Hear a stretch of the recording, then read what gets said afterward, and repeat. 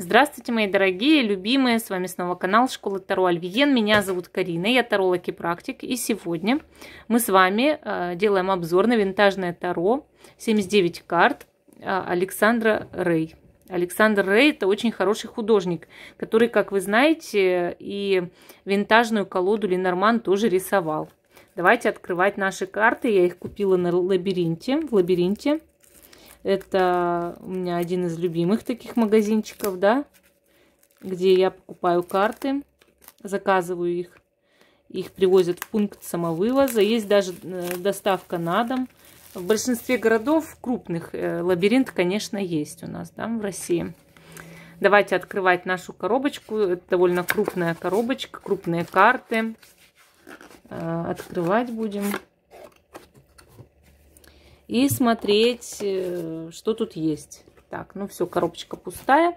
Тут у нас есть инструкция. Инструкция.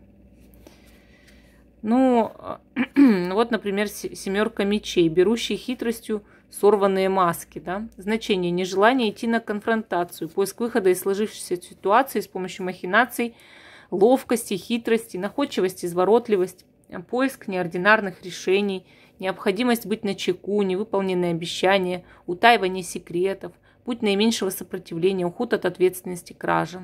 Совет карты маленьких хитростей в подходящий момент хорошее оружие. Воспользуйтесь им, и у вас появится шанс. Да? Тут перевернутая карта предостережения. То есть вот так вот а, даже инструкция сделана довольно-таки хорошо.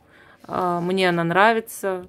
И, э, по крайней мере, трактовки более-менее вот. Ну, давайте смотреть сами, сами карты. Сами карты это шедевр, конечно. Вот такая у них рубашечка, также примерно выглядит, как у Ленорман в винтажном стиле, который рисовал тоже Александр Рей. А, вот. Смотрите, как же он хорошо художник рисует.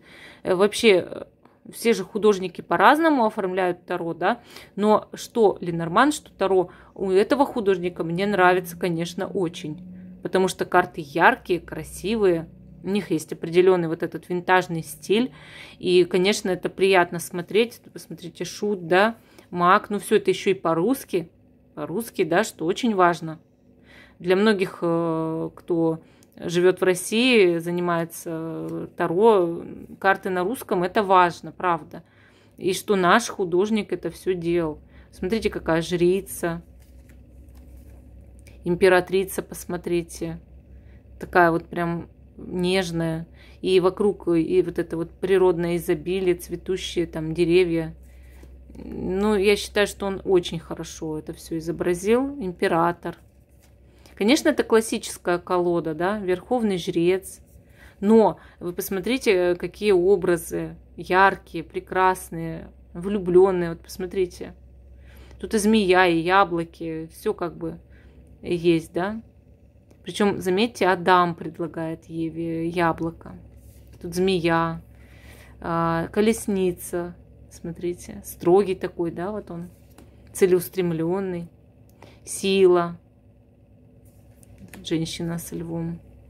Это классические э, символы, но они по-своему изображены художником. Отшельник, колесо фортуны, смотрите, король скоро станет бедняком, да, потому что колесо все равно будет вращаться. Справедливость. Повешенный, посмотрите какой. Какие тела, да, вот э, как у Микеланджело. Смерть. Так она выглядит.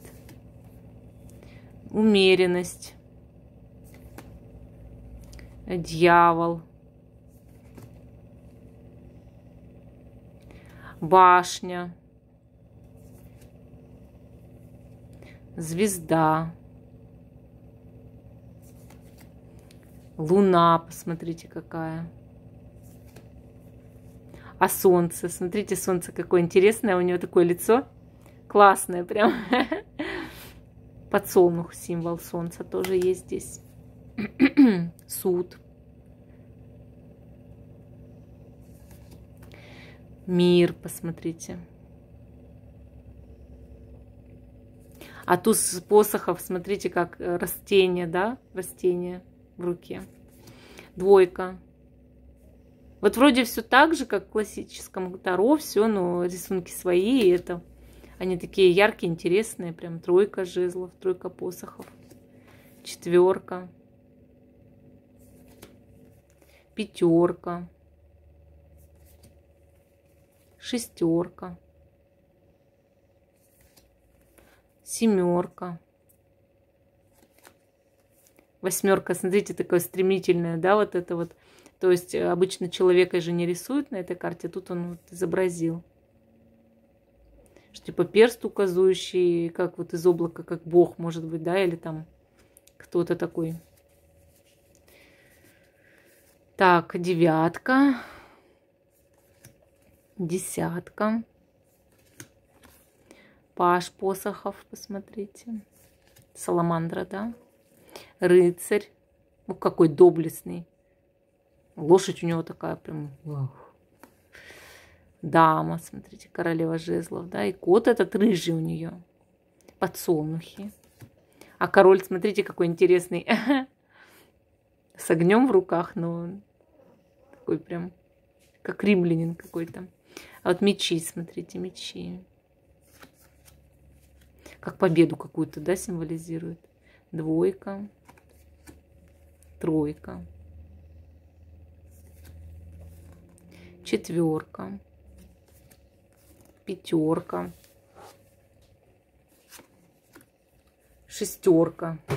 Тут прям так интересно, ой, извиняюсь, запрякала пультом от телевизора.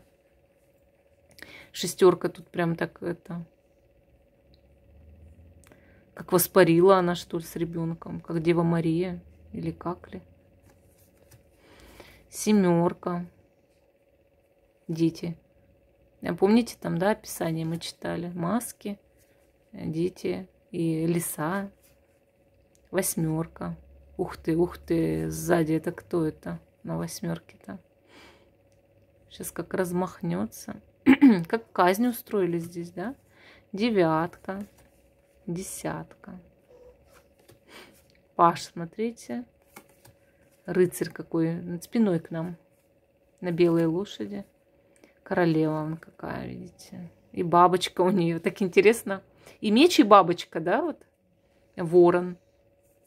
И король какой чернобородый такой, прям ух, глаза у него какие. Понравился мне этот король. Больше, чем король жезлов. Видите, вот кому как, в каждой колоде все по-разному. Туз кубков, двойка, влюбленные тут такие, тройка, праздник, четверка, пятерка, шестерка, смотрите, дети с бабушкой играют семерка. Тут как третий глаз. Видите, по-другому немножко, да, вот это все. Восьмерка. Девятка. Ух, как он веселый, такой дома сидит. У него и сундук с золотом есть. И выпивка, и жабка сидит. Десятка. Это Паш. Ох, как, ой, попку как отклячил. М -м. Рыцарь, смотрите доблестный, да, Амурчик тут все, ну, такой влюбленный едет, кубок свой предлагает. Дама и король. Тут король, видите, какой зажиточный. С кубком. Кого он тут давит? Крокодила или рыбу какую-то, что ли? Так, дальше. Туз Пентаклей. Моя любимая карта. Двойка. Тройка. Херувимы, главное, собрались. Четверка пятерка, шестерка. Типа нищему подам. Ну, тут немножко как такая по-другому чуть-чуть, да, выглядит. Семерка, восьмерка, девятка, посмотрите, десятка, семья. Аж какой, прям щеголь. Рыцарь на черном коне что-то высматривает. Королева. Ой, какая дама красивая у Пентаклей. И король какой красивый, смотрите. А белая карта еще есть. Пустая карта. Ну, я считаю, что это замечательная колода. Хорошо, что мы с вами ее приобрели. Вместе открыли, все посмотрели. И будем обязательно гадать сегодня на трансляции, на этой колоде, да. Трансляция на тему чувства человека к вам. Ну и всем пока, до новых встреч. Тем более, что встреча у нас уже прямо скоро-скоро.